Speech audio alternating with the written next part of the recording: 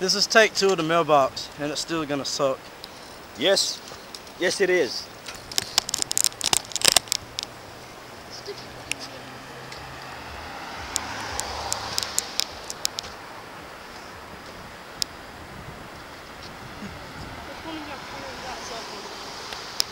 None of us.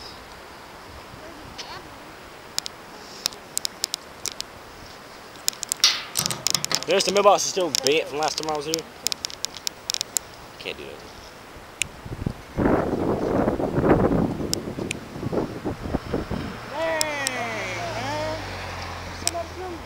That was a hot chick. Brady, people coming, man. Who cares?